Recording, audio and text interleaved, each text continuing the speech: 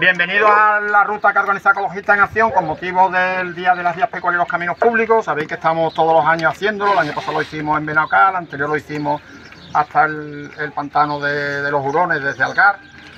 Y la ruta, aunque muchos han visto la guía que hemos hecho, mm, otros no, por las razones que sean.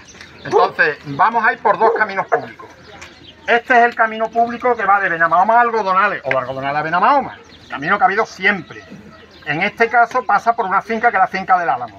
Entonces todo el, valle este que vamos a llegar hasta entroncar con el otro camino, que es el de Zahara a Benamahoma, que si de Benamahoma sale un camino y después se divide en dos. Uno baja por este valle hasta Algodonales y otro pasa, baja por el valle paralelo, que es el valle del Parralejo, hasta Zahara. Esas son las redes de caminos que, hay aquí.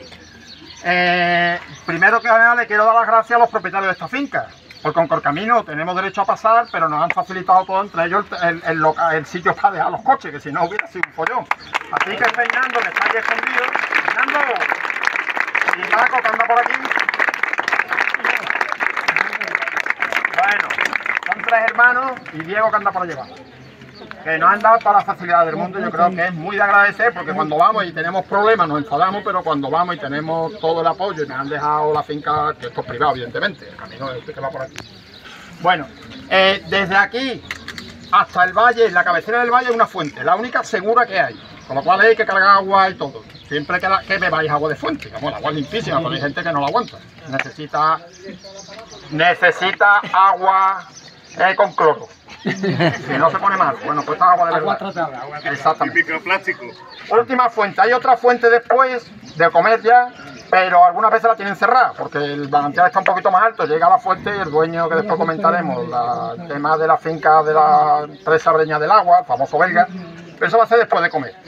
Eh, por tanto, ahí os cargáis de agua, ya ahí vamos a enlazar con el otro camino, subimos hasta los Albarranes, que es un llano precioso, que además hay un perezoso, que es una laguna, y le llaman perezoso, nombre autóctono, que debe tener agua después de la que ha caído, al pie de Sierra Margarita. Es un paisaje magnífico, a cerca de mil metros de altura, un llano magnífico, precioso.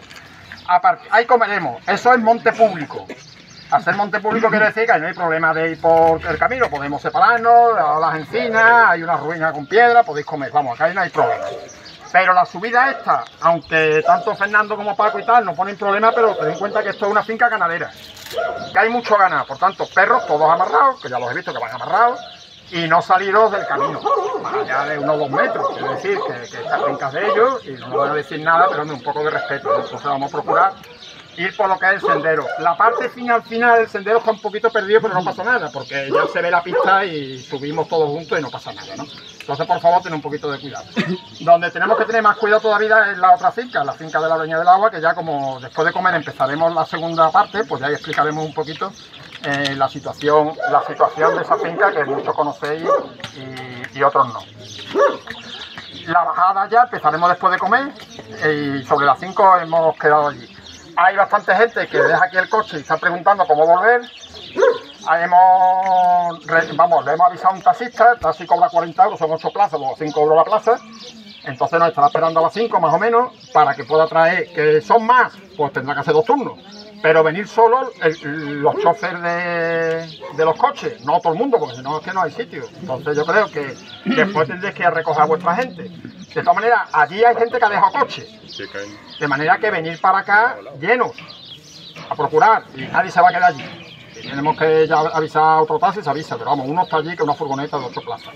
Por tanto, mm, podéis hacer la ruta entera que de alguna forma volveremos, ya lo organizamos, ¿no? Pues nada, eh, tema de seguridad un poquito, pues Paco os comenta, Paco Martín, bueno, yo soy Juan Clavero de Ecologista Nacional.